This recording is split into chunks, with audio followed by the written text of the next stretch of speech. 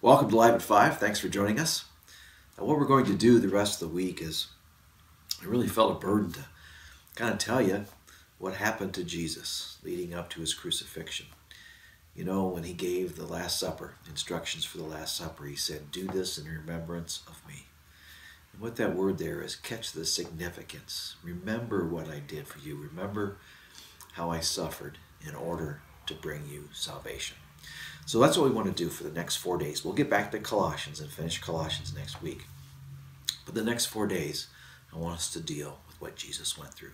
Today, we want to pick up the story after Christ had been arrested. And we're going to look at the Jewish authorities, what they did to him uh, through his trials.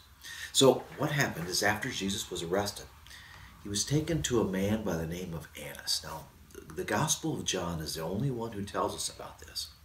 But he's taken to a man by the name of Annas. Now, Annas was the power in the temple area. See, Annas had been the high priest for about 10 years, probably about 15 years before this, somewhere in that area.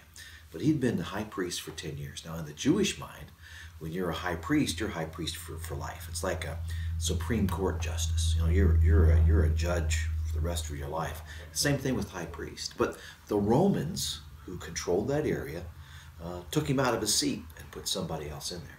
But Annas kept control. Five of his sons would become high priests. And now Caiaphas, who Jesus will go before, is the high priest, and he is Annas's son-in-law. So it's another thing you need to understand. Annas was a guy who controlled the temple in the temple they had all this uh, graft and all this stealing and lying and cheating people out of money. And he got the money from that. He got the proceeds from that. He was a very very wealthy man. And so jesus twice we're told in the scriptures that he went in there and cleaned out that area. So annas did not like jesus at all. And he wanted jesus and he wanted him dead. So the first person that jesus sees is a man named annas you also see him called in the book of Acts the high priest, uh, both Caiaphas and him. Now, officially, was, there was only one high priest, and that was Caiaphas. But Annas was the real power, and they still called him the high priest. So he goes before Annas, and Annas gives them permission to liquidate Jesus, to kill Jesus. So Jesus then is taken to the Sanhedrin. Now, this is the middle of the night. No trials were to take place in the middle of the night. They were to be taking place during the daytime. But they didn't do that with Jesus. They took Jesus, they took him in front of the Sanhedrin.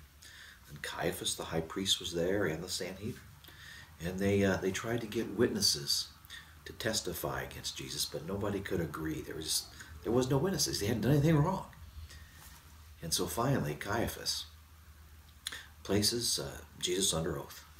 And again, you in that system you were not made to testify against yourself just like our judicial system. But they did that. They made jesus testify against himself which violated their rules. And so caiaphas places jesus under oath and asks him if he was the messiah the son of god. And jesus says i am. Now, caiaphas tears his robes which again violated their rules. And they all screamed and yelled and wanted his death right there and so they condemned him and then they beat him. They punched him, they slapped him, they spit in his face. And then they took him and put him in a holding cell until the next day. The next day, when it finally became daytime, they had to have another trial because the trial they had at night was illegal. So they had to make it like they were going by the book. And so they had a trial during the daytime, the second trial. And again, of course, Jesus was condemned. And so he was condemned to death at this time. He was beat up. In fact, the Gospels tell us that when he appears before Pilate, Pilate goes, Boy, you guys really did a number on this guy.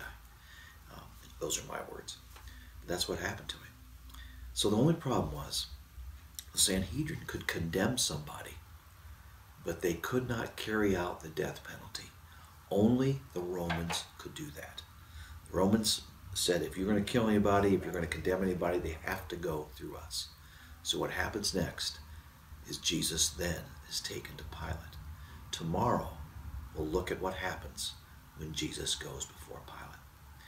You know, when I was studying this looking this over, I'm just amazed at what, what Jesus Christ did for us and all the mistreatment, uh, the abuse that he took for you and for me.